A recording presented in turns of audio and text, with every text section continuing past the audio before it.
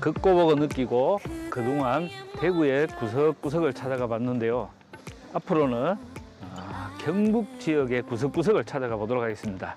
오늘은 그 첫 번째 시간으로 힘차게 달린다는 의미로 기차와 역 그리고 사람의 이야기가 있는 군위 화분역으로 가보도록 하겠습니다.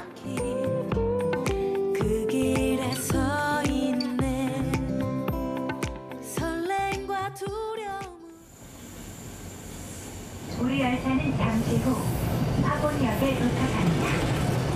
미리 준비해 주시기 바랍니다. 고맙습니다.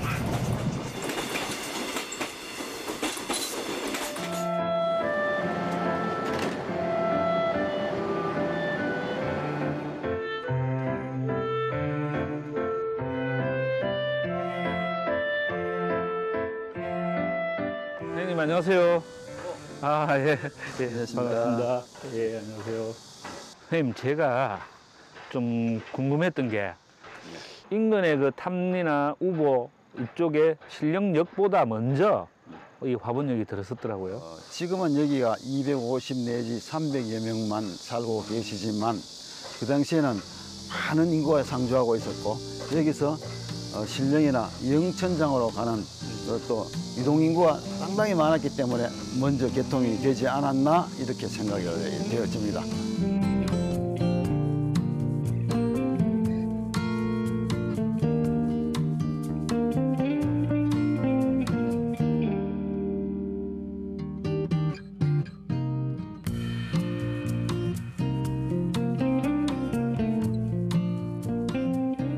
지금은 이렇게 텅 비어 있지만은 옛날에는 이 안에 사람이 왁작 지근했을 겁니다, 그게. 완전히 뭐 그냥 꽉 찼죠. 꽉 차고 바깥에도 줄을 서가 있고 그렇죠.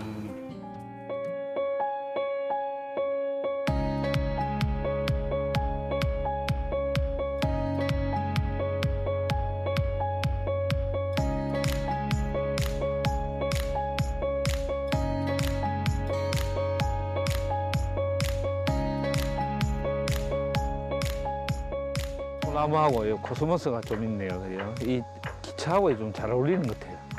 여기란 게 원래 좀 이별하고 만남 이런 공간 아니겠습니까? 그렇죠. 맞습니다. 그래서 어떤 사람의 애환이 막 이 속에 많이 깃들여져 있는 것 같아요.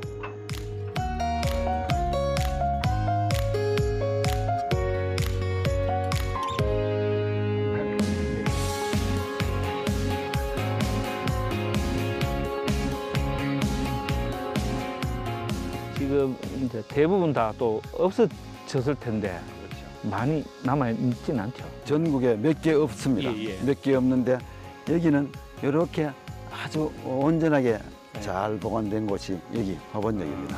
그래서 여기에 옛 향수를 또 이렇게 끌어주기도 하면서 어, 충분하게 보존할 가치가 있다고 봅니다.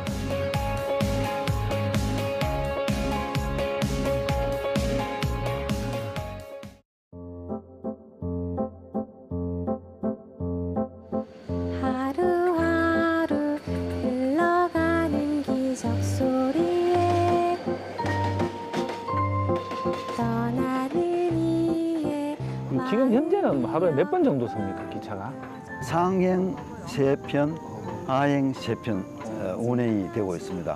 그 이외에 어, 여기 무정차로 지나가거나 네. 화물 열차 이런 것 치면은 한 40여 편이 왔다 갔다 하고 있는데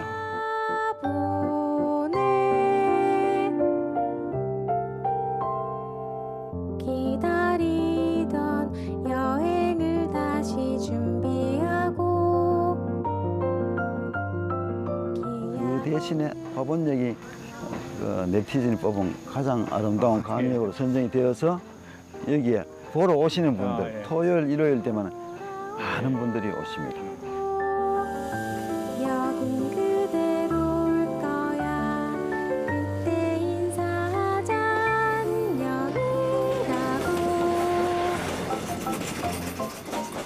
시대가 빨리 변하는 만큼 기차도 빨라지고 있는데요.